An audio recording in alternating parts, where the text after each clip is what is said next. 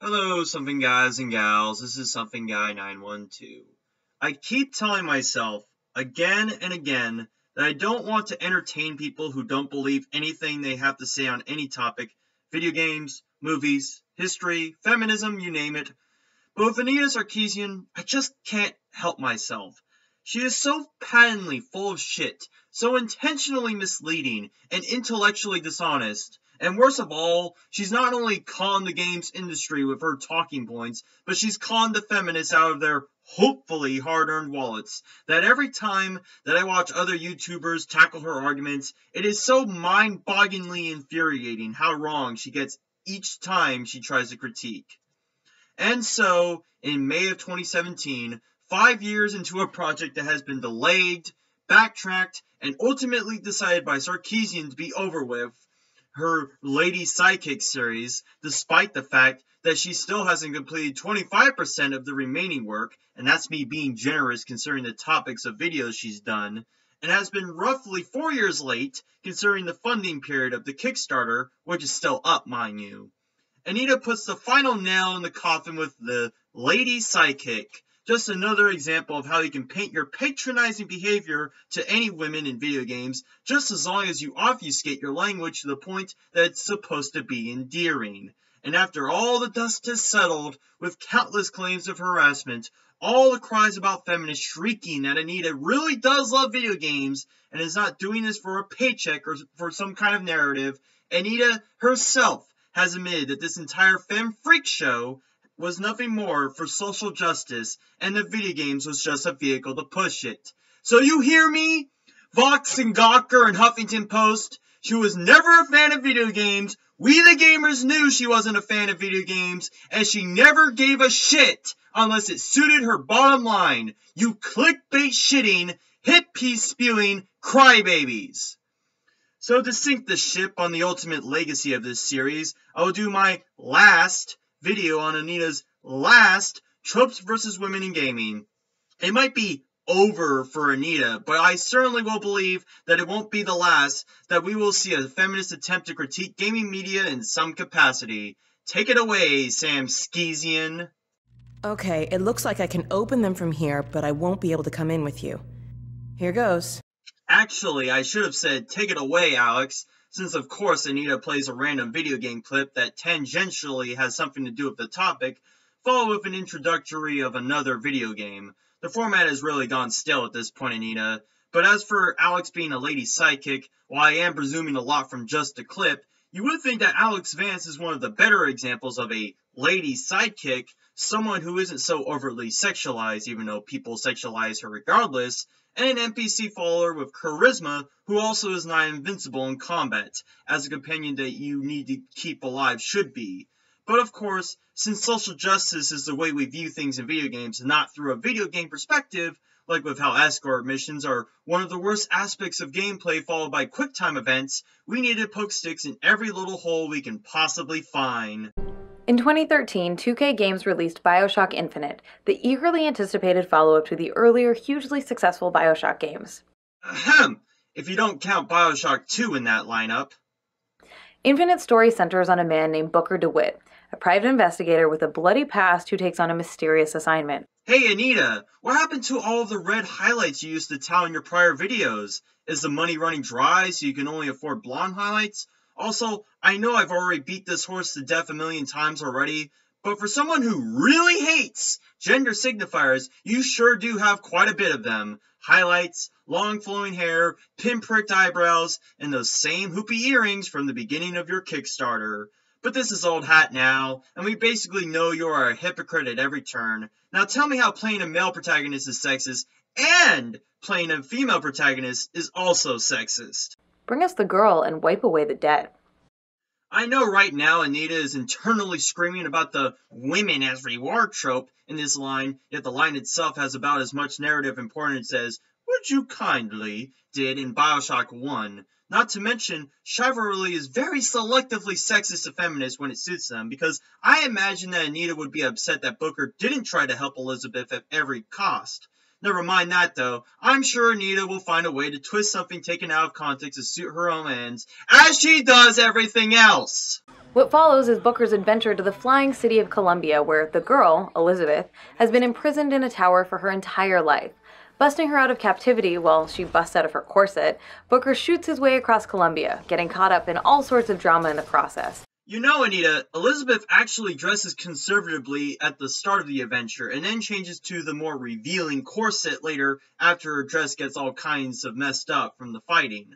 While you might have been doing some flavorful dialogue in this instance, I think it was just your social little social justice brain working out the chinks of the game in your own triggered flavor. As the game tells players a garbage story which suggests that oppressed people are just as bad as their oppressors and that the truth is always somewhere in the middle. Here is the part where I am absolutely convinced that Anita hasn't played the game, much less care about what goes on in the story. There is a huge narrative twist at the end of Bioshock Infinite that left me rattled for several days pondering, yet Anita is so quick to hand wave it as a garbage story, despite her earlier refrain of it being an eagerly anticipated follow-up. Also, Anita, it's not that oppressed people are just as bad, but that they can be just as bad as the oppressors. In Infinite, Daisy Fitzroy is convinced that all bad things are passed down, trying to kill Jeremiah Fink's son, as she personally hates Jeremiah and thinks that you can only kill the weeds if you cut them by the root. It's a paraphrased quote, but an interesting one at that. It's like how Antifa are convinced that they are justifying their every action because they paint themselves up as the oppressed, so that even if they murder a litter of kittens in broad daylight with a smile on their face, that that somehow is okay because the litter of kittens had a swastika on the side of the box, or that the litter of kittens were owned by some Nazi they applied the label to. Also, Anita, have you ever once considered that sometimes arguing against the status quo is fucking retarded? Like, flat earthers who are convinced to this day that the world is flat are somehow on the right because they are going against the grain almost for the sake of it? Not to say that Columbia had some fucked up morals and status, but the point is, Anita, fighting against the system for the sake of it is stupid in and of itself. But of course, truth is always somewhere in the middle in games, but for Anita, she always knows the truth, she interprets the truth, she makes the truth, and the truth shall set you free! But that's much too big a can of worms for us to open in this video. Oh yeah, that's just too much work for Anita considering that she said that her videos would be 10 to 20 minutes in length and would be made by the middle of 2012 no less. Oh, if Anita had to tackle the big identity crisis of Booker DeWitt or the infinite, pun not intended, span of parallel universes, you'd think that her calling the game trash for its story was almost bullshit. It's not like you were paid to talk about video games for fuck's sake, Anita! Let's just focus on Elizabeth. Oh yeah, let's, Anita. Fuck the gameplay, fuck the story, fuck the protagonist. Let's focus on only one quarter of the game. Just how you only focus on one quarter of your promised Kickstarter goal, you disingenuous hack. Elizabeth possesses an incredible ability to open portals to other timelines, an ability that plays a significant role in the plot as Booker and Elizabeth hop forward and backward and from side to side in time, leaping from one version of Columbia to another, and sometimes thrusting Booker into the past or the future. I'm going to make a note of this since Anita will ignore it for the sake of a later argument, but you can also use those tears to help in combat situations or get around the world. So as a plot device which drives elements of the game's narrative, she's very significant. That's not what I want to hear, Anita. Tell me how she's a vehicle for the player to drive whatever perverted ideals they want into her. Tell me how sexualized she is. Tell me all the key feminist buzzwords, please, or else I won't have my cream of the SJW crop. In gameplay terms, however, Elizabeth serves a different kind of role that of a glorified door opener. There you go. Exactly as I predicted. I haven't played the game in over two years, and all that has happened in that game are still fresh in my mind. That's the problem with trying to take context out of a video game, Anita. People can go back and play it and confirm for themselves whether you are lying or telling the truth. And you are so patently full of lies. As for Elizabeth being a door opener, did it ever once occur to you that someone who has an ability to open terrace through the world might not have an ability to fire firearms, especially considering that Elizabeth has been locked in a tower all her life, as you said yourself? As with most shooters, Bioshock Infinite often puts you into situations where you can't progress until you've cleared an area of enemies. While Anita ignored this, the game does insist that not every situation needs to be met with violence, but the context of whether it was safe for me not to start spraying and praying was lost with how fast the game was going, so I'll give her a pass on that. The way it frequently does this is by blocking doors to the next area that can't be opened by Booker. God, what a useless protagonist. I mean, gameplay wise, he's a glorified Neanderthal when it comes to doors. Wait, it's not sexist to make a man useless in gameplay? I see no double standard here. I'll just be on my way. Only Elizabeth can do this, which she does only when all the enemies have been killed.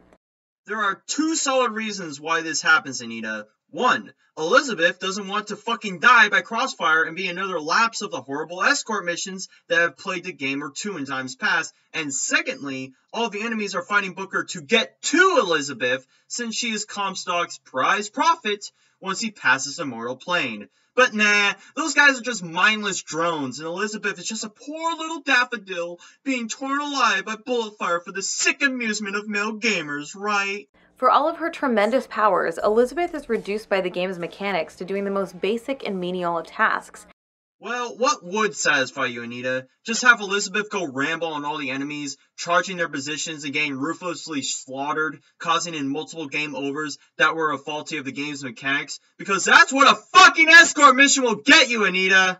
And waiting around for her to open a door becomes a significant aspect of how players experience her. Yeah, if you ignore the story around her like Anita did, if you ignore the voxophones that build the lore like Anita did, if you ignore all the small tidbits like strumming a guitar while Elizabeth plays a song and gives an apple to a starving city rat like Anita did, then yes, she is merely there to hand you ammo and a thumbs up when the enemies come roaring in. But that isn't how I experienced Elizabeth, so I can only say that Anita once again is showing her incredulity to context as a whole. Let me scout ahead, see if there's some way to move forward. Notice too that Elizabeth does use her terror powers to pass through the gate in order to open it, in the midst of Anita saying that she's not using her powers. Of course, she performs other actions as well, sometimes tossing Booker ammo, first aid, or other useful items, or opening tears through which he can have her summon things like weapons or killer robots to help him in combat. Well, Anita, I guess Elizabeth isn't a glorified door opener as he coined it, huh? Interesting how trying to sound worldly gets you nowhere if you can't even be tonally consistent with the terms. Now, there's nothing inherently wrong with the idea of characters who play a supporting role in combat situations. But you are just going to tell me how it's inherently wrong, Anita. Don't try to sugarcoat this like you aren't borrowed that a female, of all things, is supporting a male character, right? I'm certainly not, but that's because I don't see people as the descriptor they are before I see them as a fucking human being. But Elizabeth is an example of a female sidekick who is reduced to a tool.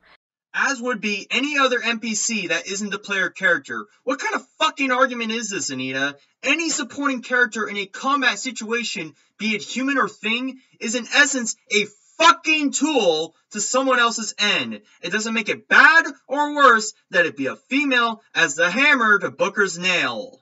There aren't gameplay mechanics that allow you to have meaningful interactions with her. Except for all the lore-based items that give you context as to how Elizabeth feels about the world of Columbia, including the aforementioned guitar singing duet, let's ignore that in favor of a lopsided argument despite that people can look this up, replay the game, and find it for themselves because unlike history, you can't change the nature of a fucking video game! Unless you mod it out, of course. She just opens doors and dispenses useful things, and her tear opening powers are not her own, but yours to call on and control with the press of a button.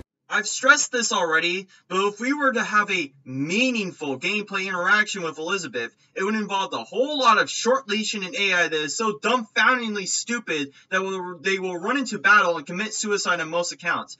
I remember in the final onslaught on Columbia where Elizabeth was just caught in an infinite loop, riding the magnetic rail without dismounting, and where I needed her to dismount so we could continue on with the story. I literally had to restart the encounter, the hardest in the game, just so I could move forward. And that's regarding someone who is invincible throughout enemy encounters. Imagine how frustrated gamers would be if Elizabeth decided she wanted to go yippee-ki-yay on some motherfuckers with a pistol with no resourcefulness or sense of longevity on her part. It would in fact affect the ratings that Bioshock Infinite ultimately got. At other times, she's less like a person and more like a sexualized slot machine tossing you the occasional coin. What the fuck, Anita? While Elizabeth is conventionally attractive, I don't see how she is sexualized beyond a corset that reveals her ample bosom. I think that's just you projecting your own repressed sexuality and inferring that everyone else is like a 14 year old boy who just experienced puberty seeing cleavage for the first time in his life when it's just you being perverted. How do we not know that you are just as sexist in all this, huh? You certainly don't hold women to high regard, much less women who aren't even fucking real to begin with, no less. As a glorified gatekeeper, Elizabeth joins a long tradition of female sidekicks, including Alex from Half Life 2 and its follow up episodes, and Yorda from the much beloved Ico, whose magic is needed to activate doors, staircases, and other mechanisms that allow players to advance. Now, I know nothing about Ico, Funny that I'm not attempting to critique a game I know nothing about, eh? But I'm just going to go on a whim here and guess that the reason you need to her to open said doors and mechanisms is because the protagonist does not have the eldritch ability to use magic like she does, much in the same way that Elizabeth uses magic to pass through certain barriers. But I do know quite a bit about Alex Vance from the Half-Life series, so let's go into that. So yes, Alex does in fact open some doors for you, but in about roughly half of those situations, she fights alongside you as she is opening said doors. What's also interesting about Alex is that while she is not indestructible, you can't simply just let her fight all the enemies, because there's a damage threshold that will result in an immediate game over because Alex, surprise surprise, is a viable character, not a glorified gatekeeper, as Anita would suggest. Also funny that Anita says that Ico is much beloved, presumably from people who have played video games, yet will find any way to shit on the game for her own sick and twisted narrative. Yorda also has a distinction of being the quintessential example of what I call the damsel escort mission. Anita, that doesn't make any fucking sense. A damsel, as far as I've seen from your videos, is someone who is in a constant state of peril, who needs to be rescued, and for what I can see up here, she's being led along by the protagonist, but isn't always in a manner of distress. Does that make Elizabeth a damsel or escort mission because she too often finds herself in combat situations? Does any kind of distress mean that someone therefore becomes a damsel? You know, after making three whole videos about damsels, I'd kind of hope to never have to talk about them again. Well, good news, everyone! Anita isn't making more of these roughly poorly researched videos, not to mention that it still pales in comparison to what you originally promised in your own Kickstarter way back in 2012 but less is somehow more in Anita's eyes. But gaming's love of using helpless women as both narrative and gameplay devices was too much for even those videos to contain. Oh yeah, gaming's love of using helpless women because developers just hate women, right? It's not like the men in those video games like being chivalristic and gentlemanly when they help women who need it, right? I'm an independent woman who don't need no man, unless it benefits me. This line certainly says a lot about how you view women, huh, Anita? You keep saying that you are a feminist and that you support women's rights, but deep down, you are just as much the vile misogynist that you paint on the forehead of every Gamergater and every gamer for that matter. You don't support women to choose how they please, so inevitably you don't support their choice to let a man take action in a given situation. You don't support women to dress as they please, almost demanding that every woman in video games be patently ugly, but not degrading in any way, or wear a burqa to keep your moist clit from spraying like a fire hose. You don't let women do anything unless it goes through your superbly high standard of what is the conventional female choice. So how can anyone be fooled at this point that you care about the rights of women is beyond me. Damsel escort missions occur when a female character joins the male player character, but is largely helpless. Notice that every damsel escort mission involves a female being helpless to a male player character, like if as if that doesn't happen on the opposite end, like NieR Automata, for instance. But that game's sexist because the female protagonist is just too damn sexy. And rather than being a clear benefit to the player, she feels more like a burden. The burden really depends on how constructed the AI is, not that it's necessarily a male or female as a vehicle for said AI. Very intellectually dishonest of you, Anita, but I'm not fucking surprised at this point. In Ico, players free Yorda from a cage early on. She then joins Ico on this journey, and much of the game consists of solving puzzles so that Yorda, who can't make leaps or climb walls on her own, can traverse the environment. Again, I know nothing of Ico, never played it, but I'm going to try my best to fill in the blanks that Anita probably erased to make this conclusion. Perhaps Yorda being stuck in a cage for who knows how damn long probably made her weak, malnourished, or maybe there's some kind of game specific ring or pendant that is nullifying her innate abilities beyond opening a door per se. pure speculation, but I'm sure it doesn't just come down to her being female. Meanwhile, players also need to protect her from the shadow monsters who sometimes try to whisk her away. Makes me think that Yorda is much more narratively significant than just some glorified gatekeeper or burden, much like how the reason Princess Peach keeps getting captured by Bowser is because she is the leader of the Mushroom Kingdom. But who's the one always there, taking away the agency of someone for the fulfillment of a social justice argument? Anita Sarkeesian. Spoiler alert. Yes, in the ending cutscene, Yorda carries Ico out of the crumbling castle. But what the narrative tells us or shows us in the end doesn't undo the impact of how we experience a character through the gameplay. It doesn't undo it, Anita, because it's very fucking hard to interweave gameplay with story. Imagine trying to have a conversation with someone while gunfire is flying by your head, or much less trying to talk to someone as they're being taken away by some vicious shadow monsters. Also, the fact that Yorda is black and shadow-like makes me think that she became one of those shadow monsters, or would become one of them. Another classic damsel escort mission occurs in Resident Evil 4, where Ashley Graham, the president's daughter, has caused players tremendous frustration over the years by burdening them with the need to protect and manage her. Yes, because escort missions are shit, Anita. This is not exclusive or indicative of how gamers view women in video games. Also, I was sure that Resident Evil 4's escort mission was slightly better in comparison because Ashley didn't get in the way of gunfire and kept just close enough by her side so as not to run astray. But if the gamers Anita is talking about have a problem with it, it was likely because escort missions are almost patently shit as soon as they are put into a game, no matter how well polished it may be. Whether they're presented as capable or helpless, female companions often encounter situations in which they just can't proceed on their own. And is it the sex of their body have something to do with Anita? Or is it perhaps a gameplay element that you're ignoring for the sake of saying it has to do with them being female the reason. Also, more weasel words from Buzzword Bot here. Ellie in The Last of Us, for instance, is hardly a Yorda-like damsel, but when she encounters a body of water, she may as well be. Probably because Ellie doesn't know how to swim, Anita. Learn to swim, learn to swim, learn to swim. And Joel has to go out of his way to get her across.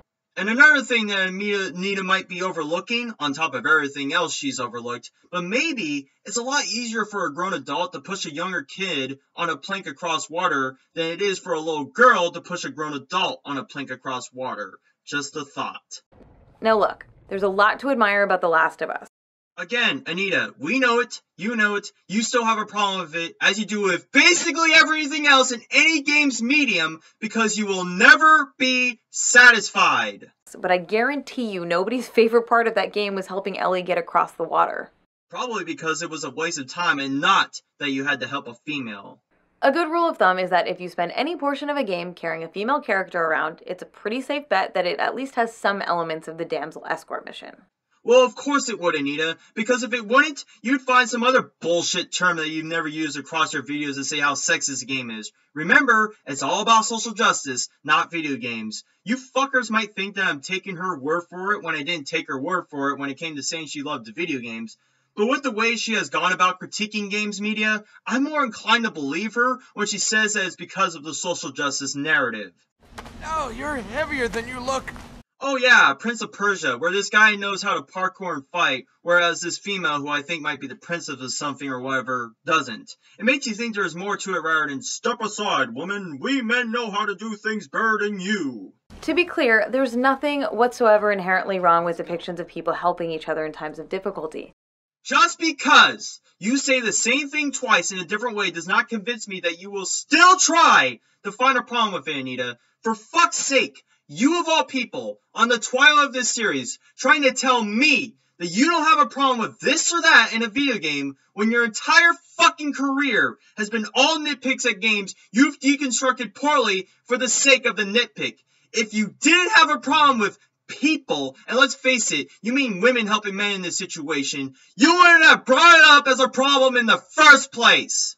If anything, we could do with a lot more narratives that focus on companionship, cooperation, and support. Well, we wouldn't get any if you were in charge of how games were made, Anita. You'd insist that regardless of the gameplay mechanics, and regardless of the lore built around certain female characters, that they should be able to hoist themselves by their bootstraps without any assistance from anyone, much less men, because we wouldn't want to think less of them, would we? Even though you are literally the only one who ever fucking does. Might want to make sure that fucking camera you talk to isn't also a mirror. But the models games give us rarely offer experiences in which this kind of support is truly mutual. Is it now, Anita? So when Booker eliminates two dozen enemies in a room vying for capture of Elizabeth, and Elizabeth awards Booker with passage to the next arena-based room, that's somehow not mutual in any way? Or is your idea of mutual companionship be that if I give you two oranges, you give me two oranges? Doesn't seem that kind of mutual relationship could go so far. Instead, we see a pattern of men frequently caring and helping women in situations where they're otherwise helpless. As with the damsel in distress, and just as with this one, it could be that the game is playing into men and males' natural desire to help women, chivalry as most people know it. And if they didn't help them, Anita would you not complain about the men not helping her? You need to find a problem with anything, so of course you would. So don't go here insisting that you'd be fine with the opposite outcome. This pattern is rooted in sexist ideas about men as protectors and women as the ones who need this kind of protection.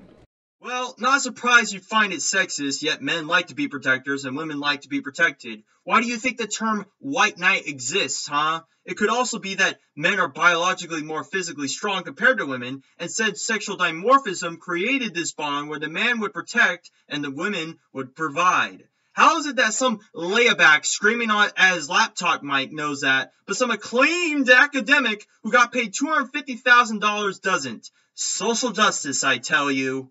It's coded into the gameplay that men are the ones who kill and protect, and that women are the ones who experience moments of helplessness and need to be carried. Yeah, it's not like the men who are ruthlessly slaughtering people are experiencing trauma of their own kind. It's not like Booker DeWitt had been involved in the massacre of Wounded Knee and its past revisited him in some fucked up exhibit displaying the Native Americans as savages and the Americans as glorious patriots. Not like, spoiler alert, Booker's entire internal struggle with saving Elizabeth was him actually trying to save his daughter that was stolen from him by an alternate version of himself. I mean, what kind of misogynist would Booker be for trying to save his daughter from captivity, huh? When these female characters are of aid to the player, it's often in rudimentary ways, as a glorified door opener, or even as a more basic tool. You really do love hammering home the same talking points, huh? But I guess that's really all you have up to this point. Nothing more significant to add to this, and even the argument you're making is perhaps dishonest. In the Ocarina of Time dungeon, inside Jabu Jabu's belly, players must carry the snobby Princess Ruto around, at one point even using her as a weight to press down a switch.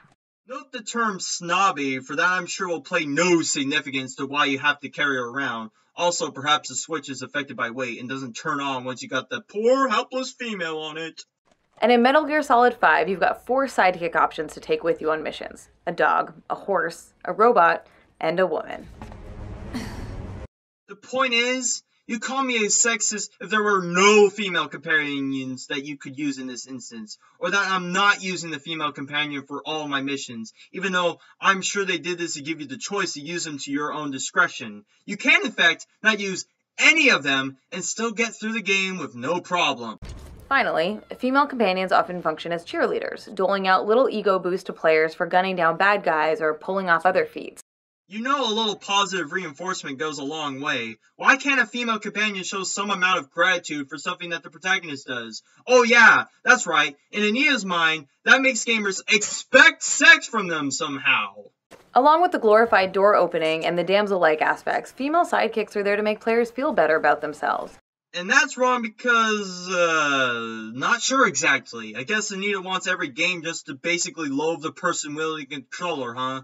It's like Spec Ops The Line, but instead of tackling the subject of war in a smart manner, it morally grandstands and goes mom on all the players, like as if it's wrong to want to help people when they need it. To make them feel important and skilled. Yeah, who would expect the player character to feel important? It's not like as if they are playing the protagonist who is central to the story or anything. Sometimes I like to think you're being this intentionally retarded, Anita, and at other times I just think you are just fucking retarded when it comes to the basis of a game's narrative. You did it! You did it! Wow! You're so cool! You're just trying to impress me. Were you impressed? Got all those guys all by myself? Yeah, I just defeated giant combine infrastructure with my gravity gun and dashing looks, But uh, what I really want from Alex after doing that is to shame me for it and tell me how every Combine I just killed had lives of their own, right? Every accomplishment that I make in a fucking game should be met with disdain and vitriol because pixel lives matter, and those pixels on the screen weren't just trying to kill me in the game too. It doesn't make sense in the world for Alex to congratulate me because she too wanted the Combine Forces eliminated. No, no, no, no. She's a revolutionary. Who cares about the lives she's throwing away? The fuck you on about, Anita? But these interactions are rarely depicted as mutually supportive. Often, rarely, nearly, sometimes. May I go on how Anita is a weasel on top of being a con artist? Also, how do you know that it isn't mutually supportive for both people? Isn't Alyx going to get killed if you don't do anything to help her? Isn't Elizabeth going to get killed or indoctrinated if you don't do anything to help her? But I shouldn't help them because I would be perpetuating stereotypes in real life through a fictional world but I should help them because if they were to die, you'd call me a misogynist for it.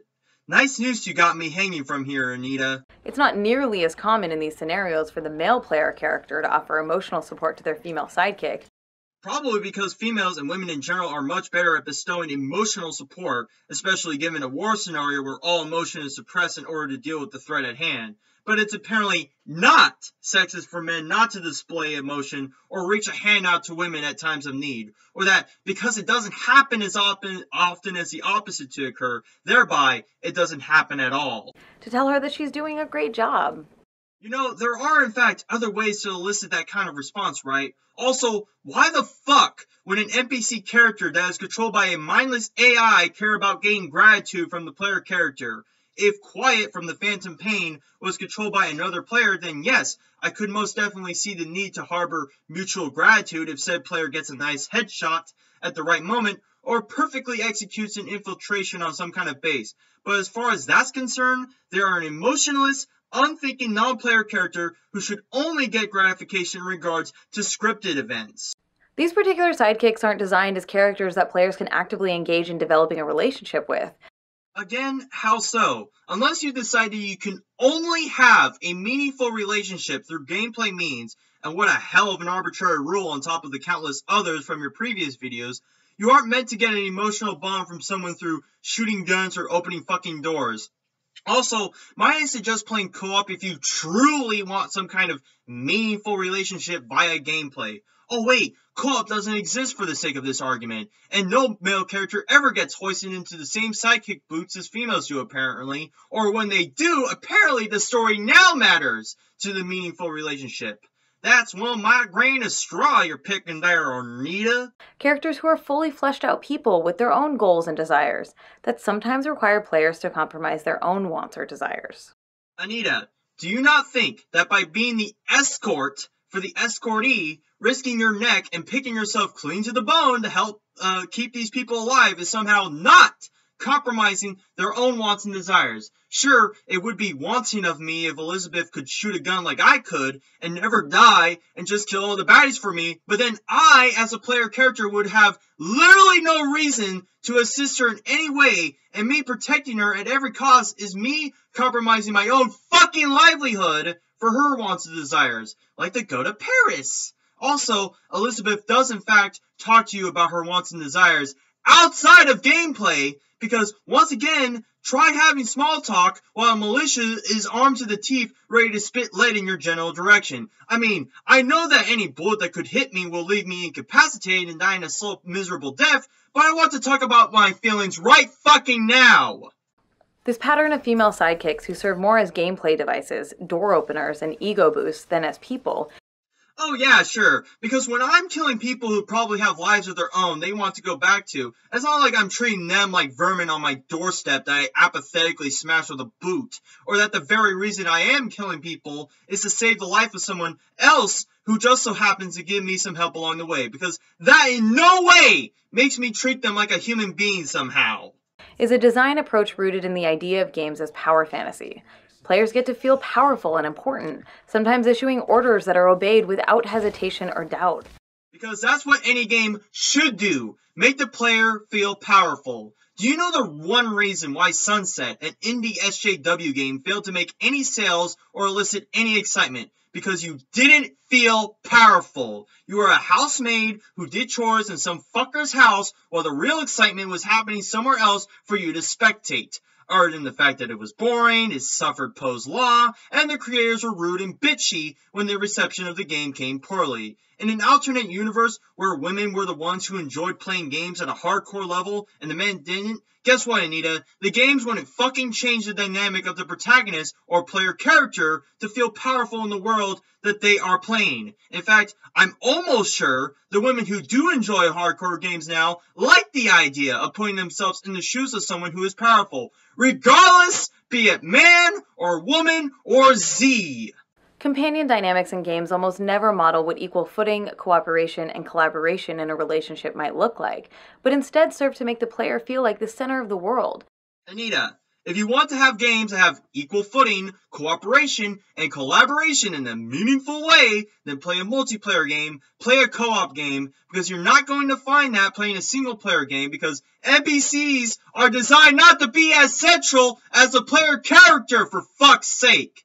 How is it one of the most basic fundamentals of a game goes right over your fucking head, and that not only do you not get it, but try to attribute your lack of understanding of the idea of being the protagonist in a game centered around you as sexist too. I can only assume that you are being this incredulous for the sake of the argument at hand, which is basically a phrase that summarizes the entirety of tropes v women. Have an established argument or bias, and distort fact to make it suit said established argument or bias. The one in control, which is not at all a model for healthy relationships. Because submissive and dominant don't exist in real world relationships, right? It's not like people insist to one another for someone to take control in a relationship. I got a little submissive side to me. I like the idea of a woman who's more sexually inclined to take me as her little Sybian. And surprisingly enough, I don't think of it as sexist in any way or think of it as unhealthy so long as I get a mutual offer in exchange, which I inevitably will from the fact that I'm having sex in the first place. Also, video games where you interact with fictional characters on a screen aren't the ideal place to find a healthy relationship anyway, but maybe that's how you bolster such a great relationship with John McIntosh, right? Of course, a huge number of games focus on men fighting alongside other men, and in these games, the male companions often have some of the same characteristics we sometimes see in female companions. So you have just demonstrated that this is not exclusive to females, nor is it exclusive to males, that when you find yourself as the only person who can control fundamentally how you go about dealing with a given situation, the AI that inhabit the world will move aside for you, no matter the gender or race of the person. So what the fucking fuck fuckity is the point of this video anyway? This is your last bell ringing on this long forgotten and dredged up series, and this is what you have to show for it. $250,000 over the disgrace of video game analysis and critique. What the fuck kind of world do I live in where the price of an Audi R8 GT will get you this shit? Because it's clearly not a sane or functioning one. It's very common for male characters to compliment the player on their good shooting or to breach a door that the player character can't open himself. At this point, I'm just waiting for the chinks in her brain to try to reason somehow why, when you have male companions helping the player character, that's not nearly as bad or even sexist when it's done for the female characters, because she's done it before. She's conveniently ignored all the male body types in Overwatch that were similar in shape and size, she conveniently ignored all the variety of female body types, and not even sex anything types, in League of Legends, she conveniently ignored the female fighters finding another female so to suit her conclusion that the game is reinforcing male dominance like with Gears of War 3, I really am waiting in the wings on a probably 40 or 50 minute video on how full of doublethink web Anita will spin to keep this narrative afloat. However, typically these characters are presented as equal participants in the conflict. In shooters ranging from Call of Duty to Gears of War, the player's male companions are armed and active and are portrayed as playing their part to fend off or eliminate the enemy threat. There it is! Oh, thank you, Anita, for double thinking yourself into oblivion. Also, Gears of War 3, mind you, has two playable female characters that play their part to fend off said enemy threat. So nice job lying again, Anita. I noticed you were playing trailer footage of Gears of War 1 and not Gears of War 3. Otherwise, your argument would have sunk like the miserable little flotsam it is. Occasionally in these games, male characters do have to protect other men, but unlike scenarios in which men protect women, these less common instances don't reinforce pre existing cultural attitudes about men, women, and gender. And the flourish is the pseudo-intellectual word soup combined with the double think web. I think I'll take my check and my mint out the door, thank you, because like with Anita, I'm selective with my choices of meal to dine. Except that Anita is selective in what or it is or isn't sexist or offensive. Similarly, the occasional situation in which a female character protects a male one, which happens in the 2013 Tomb Raider reboot, among other games, also isn't a problem because it doesn't work to reinforce limiting, harmful ideas about women or men that already exist in our culture. I know that Anita sounds like a fucking genius right now, but let me translate for you. I don't have a problem with it because I only hate it when a man assists a woman full stop. When you break down all the wishy-washy terms, Anita just sounds like a high school valley bitch who's jealous that men don't throw themselves out to help her in her time of need. Also, in the instances where women help men, notice that it almost always involves a physical restraint, like say a battered knee or a severed limb. But when it comes to women, usually it's because they don't know how to fire a gun or something of that equivalent. Again, this probably comes down to sexual dimorphism, but isn't it funny that even in the veil of Anita's bullshittery, that you can actually dig through the dirt and find a diamond of an analogy in it? And also without obfuscating the language so you don't show your obvious bias in towards one thing and not another. In other words, we live in a culture that says, generally speaking, men should be the protectors and women should be the protected. Yeah, how misogynist of them, but also how misogynist of our culture expect women to take the draft, or insist that men be the first out of a sinking boat or downed airplane. It's only sexist when it benefits you as usual. But as I have said before in prior videos tackling Anita's drivel, cultures don't make up men to be protectors and women to be protected. We develop that naturally through thousands of years of tribalism and hierarchy, and the culture becomes emasculated in it as a result. Also note the word should as it isn't the same as have to be because guarantee you that Age Skrillex isn't going to be capable of protecting women or Ronda Rousey isn't going to step down to, to a fight with another man. When women function as competent companions whose skills are more or less equal to those of the player character, it can challenge these ideas.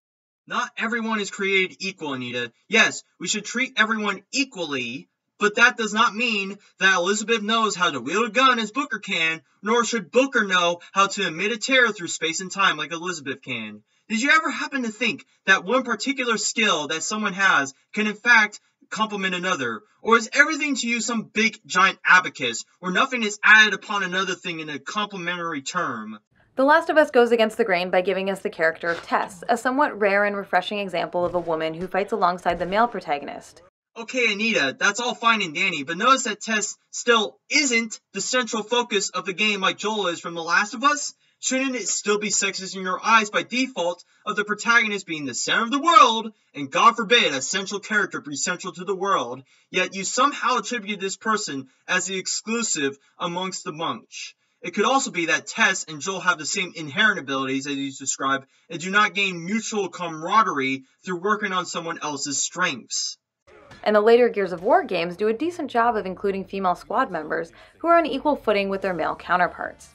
God, I am so fucking pissed that she includes Gears of War 4 in this instance, but fails to address Gears of War 3, which did the exact same thing, mind you. But do remember that being a social justice coward, you have to keep your narrative intact, or else that your previous refrain about Gears of War 3 being a reinforcement tool of male dominance falls apart when you consider that you could play as a female companion throughout the entire fucking game. Nah, Gears of War 3 now doesn't exist in Anita's brain, and let's call it the later Gears game rather than Gears of 4, or else people are going to call you on your bluff when you go quiet on Gears, Gears 3, you fucking disingenuous leech of money and goodness.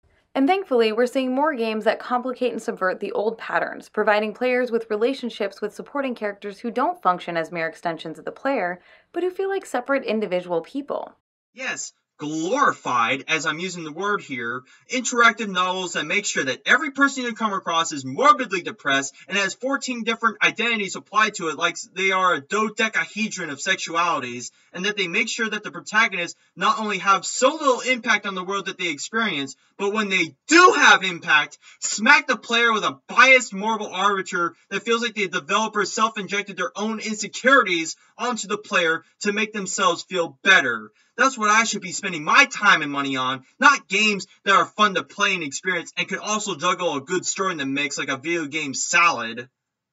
The 2016 indie title One Night Stand throws players into a situation with a female character who clearly has her own feelings and her own desires. Let's check out this game since I've never heard of it. I'm sure it probably got mass livestream play on YouTube or got a spotlight in the now defunct G4 channel. Oh, wait. It's a $3 20 minute snooze fest that hits you over the head with moral objections without any satisfying conclusion. Atypical indie game, moving on. In Left Behind, the wonderful add on for The Last of Us, Ellie's companion Riley is not someone players can issue orders to or someone they have to protect. Probably because the entirety of that DLC was just an interactive novel, much like with One Night Stand, where you couldn't do much besides interact with the environment and get a whole exposition laden dollop of backstory into the characters. Something that should or could warrant demands. Riley is constantly active, often taking control of the situation, sometimes competing and being playful with Ellie, and as a result, she doesn't feel anything like the companion characters in most games. Probably because neither of you are out doing anything. You are just both faffing about in what looks like an abandoned mall because the two characters in question are young and boisterous, still wanting to have fun despite all the apocalypse before them. Or even anything like Ellie herself felt in the original game. Okay, I don't know a whole lot about The Last of Us, but I'm sure that Left Behind takes place before the events of The Last of Us, and implying from the title of the DLC to the events of now, where you don't see Riley, something bad must have happened to Riley that made Ellie change overall as a person during the events of The Last of Us. Just a possibility, perhaps it does have something to do with sexism, Anita, but maybe just for fucking once. Could it not be? Instead, she feels much more like a real person accompanying Ellie on the journey. And while Trico in 2016's The Last Guardian may not be a human character, he does possess some of the characteristics we'd like to see more of in human companions in games. What? How Trico never listens to anything you say and bugs the fuck out, and that the game itself took seven years to be released in a buggy, messy version? Yeah, I'm sure those devs are really clamoring for that shit, right? Asking Trico to do things isn't a simple matter of pushing a button and watching him immediately obey. You could say, Anita, that this is in fact one good example of a shitty escort mission. Fuck. Escort mission is almost becoming a staple on here like Adam's apple was to my video on Justin Dennis. He's not a simple tool. Well, I'll give you that. He's two headaches and a teaspoon to balance on a thimble of your tongue of a tool. Not just an extension of the player. Sometimes he's hesitant, reluctant, even frustrating. Frustrating is the only thing that players leave with turning off The Last Guardian and throwing it to the flames of overhyped games to come. But this makes it feel more like he's a living, breathing creature with thoughts and feelings of his own. Anita, I wouldn't normally suggest another video to you, but go watch Video Game Dunkey's video on The Last Guardian and tell me if Trico left a loving, everlasting impression on him, because I can guarantee you it didn't, but it had nothing to do with him being some kind of bird dog thing, or him being male or female, or whatever bullshit crutch you use to excuse similar aspects of a game against another. And by taking time to pet him, you can sometimes express your connection to him in ways that fall outside of the requirements of the gameplay and the story. Same goes with Bioshock Infinite, but since the companion in that story is a girl and the player character is a man, now time to conveniently ignore all the little tidbits that would have allowed you to engage with Elizabeth outside of gameplay and story. And once again, Anita, I can still find empathy with Elizabeth as a human being inside gameplay, inside story, or outside story and inside gameplay, and outside gameplay and inside story, because Elizabeth is one of the most interesting and perhaps most recent, recent icon of strong female characters. But you have to shit on everything, as you always do, being the party pooper for the sake of it, tearing shits on games who have no right to be shat on, all in the name of your fucking social justice slacktivism. Get fucked, Anita. I'm almost happy that your stupid series is over and you have thoroughly wasted feminist money on drivel like this, if somewhat sad that you don't continue making a farce out of everything you say or do. And crucially, Trico is often the one protecting the player, rather than the other way around. This is what you get when you take any power the protagonist has and give it to an AI who can only function through basic yet extremely rudimentary means. You get Dunkey wanting to kill Trico and wishing death upon him in who knows how many hours of playing an overhyped mess of a game. He does not exist to fuel a power fantasy, but to allow for gameplay mechanics that focus on cooperation, care, and helping each other. The only power fantasy that would elicit from any gamer playing that is to take a plushie of Trico and violently stab all the puff out of it for how constantly it misinterpreted a command you made, or apathetically watch you fall to your death when it could have saved you at any moment. No one feels powerful playing that game, and no one should feel powerless as a protagonist in their own fucking game, Anita. But please keep following the balls while deep throwing the cock, Anita. I'm sure you'll eventually find some complaint about the game in future, assuming this isn't the last of the series. When supporting female characters in games don't have this kind of depth, when they exist primarily to be protected or to be ordered around, they not only reinforce harmful ideas about gender, they also fail as characters. Well, you heard it here, folks. The cat's out of the bag, the jury's in. Elizabeth, Ellie, Ashley Graham, they are horrible characters because they aren't as useful or more useful than the protagonists. It's not by how well they were written or how their motivations are totally consistent with how they act. It's not by whether you get a good experience with the character across the board, and not by simply gameplay elements, by Anita's sanctimonious words of virtue and truth, do we pull the sheep off this wolf and see the sexism for what it is. Oh, truly, it is a gay time for social justice to continue infesting its little tendrils into our daily lives so we can finally rid ourselves of these harmful ideas. And infest it shall, for while Anita's certainly done with this shit singing on video games for the last time, the damage has already been done. Developers and publishers capitulating and playing it safe, like as if we needed that more often. Pervasive games journalism, couching the gamers about how sexy they are, and not whether they even hold a gaming cell in their body, and games being censored, sanitized, and heavily scrutinized by many a triggered feminazi until all the fun is sucked out for morals and narratives. What a fucking time to be alive in a world full of nonsense. Well, I think this is going to be my longest video I've ever done in this revival hell the entirety of my YouTube career, but Anita is both impressive and appalling at making back and forth bullshit statements with rapid fire succession. As with the Twilight movies, we might be done with them, but Twilight isn't done with us. See you next time.